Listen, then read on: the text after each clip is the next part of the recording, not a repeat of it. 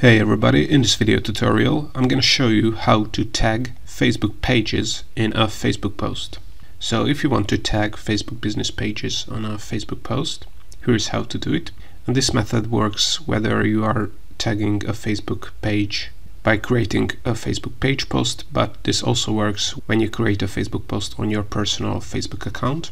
But let me show how it's done with a Facebook page. So all you have to do is open up the Facebook page make sure you switched into the Facebook page so you can create a Facebook post.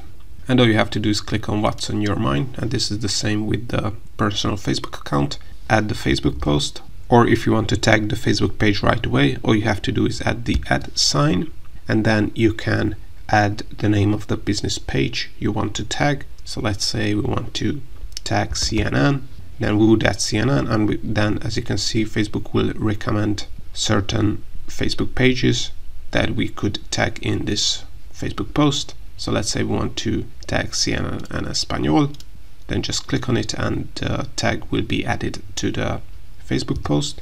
And of course we can tag multiple Facebook pages. So as you can see, just add the at sign one more time and then you can tag these Facebook pages. And once you're done with the post, just click on post and the post will be created and these Facebook pages will be tagged in the Facebook post.